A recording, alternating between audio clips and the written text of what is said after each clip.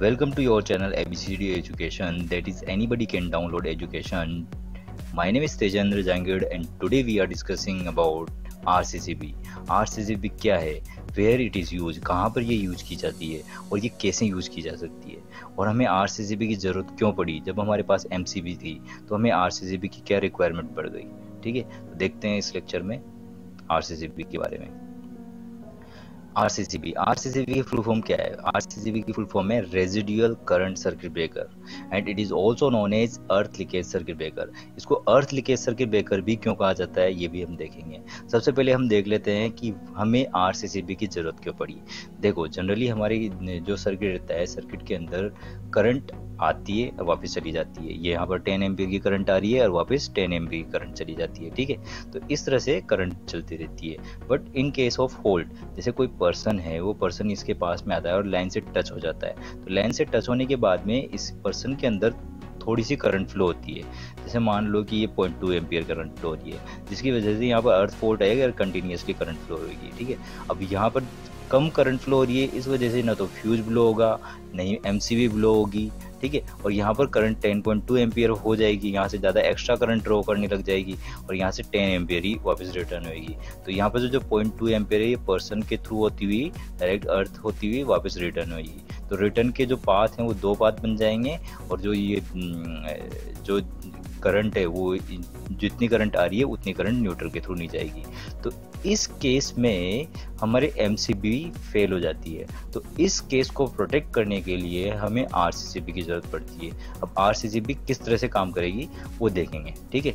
उससे पहले एक और देख लेते हैं कंडीशन देखो जब भी जब भी ये यहाँ पर जैसे टेन एम्पियर आ रही है और टेन एम्पियर वापस जा रही है, और जब भी कोई भी न्यूट्रल फॉल्ट आता है न्यूट्रल के अंदर फॉल्ट आता है या न्यूट्रल डायरेक्टली टच हो जाता है तो इसके अंदर जैसे ही करंट फ्लो होती है, जैसे पॉइंट फाइव एम्पियर की करंट फ्लो हो रही है करंट फ्लो होते ही तो जो टेन एम्पियर करंट आती है तो वो दो डिवाइड दो भागों में डिवाइड कर, हो जाती है, देख, जैसे कि ये पॉइंट फाइव एम्पियर और ये नाइन पॉइंट फाइव एम्पियर तो इसमें जो करंट है वो कम हो गई।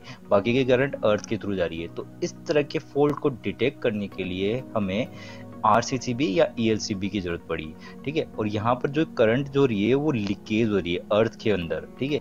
तो that's why this R C B is also known as earth leakage circuit breaker okay अब हम देख लेते हैं कनेक्शन कैसे करते हैं। देखो this is the picture of R ये जो आर है, ये टू पोल की आर है। एक पोल इधर है और एक पोल इधर है, ठीक है? देखो, ये वन वन से कनेक्ट हो जाएगा टू टू से कनेक्ट हो जाएगा और ये एन एन से कनेक्ट हो जाएगा इस एन से और ये दूसरा एन ये दूसरे एन से कनेक्ट हो जाएगा। इस साइड जो इनकमिंग एंड है, वो इस साइड से यहाँ से कनेक्ट हो जाएगा और ये आउट गोइंग लोड साइड का जो एंड है, ये लोड साइड से कनेक्ट हो जाएगा, ठीक है? तो इस तरह से इसको कनेक्ट कर देते हैं। नाउ अब हम देख लेते हैं ये काम कैसे करती है? आर भी वर्क तो करती है, पर वर्क कैसे करती है? इसका इंटरनल स्ट्रक्चर कैसे होता है?